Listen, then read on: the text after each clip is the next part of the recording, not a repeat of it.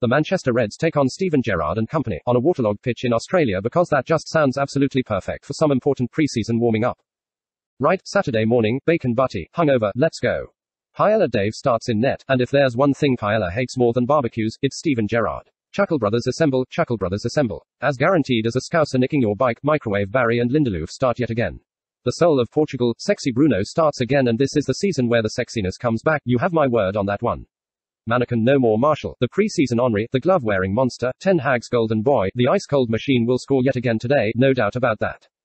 Is it Walcott? Is it Pele? It's neither, it's the child-feeding born-again Ten Hag ball Marcus MBE Rashford. Absolute fire. Take me to church, Pastor Fred. Take Gerrard with you. I'm sure he's got plenty of Scouts related crimes to repent for. Crap, quite a lot. He's even the face of the lineup video. I give up. Let's move on. Chunkberto needs to burn off these excess barbecues, so he gets a run out today, and our star boy, Sancholdinho, starts too. Are my eyes dreaming, or is Donny van der Bench off the bench and on the pitch? What the hell is going on? Is he lost? Up the no injuries, please. That's all I care about today. As from the pitch, it looks like it would be more use if they had armbands and a snorkel for the Manchester Reds.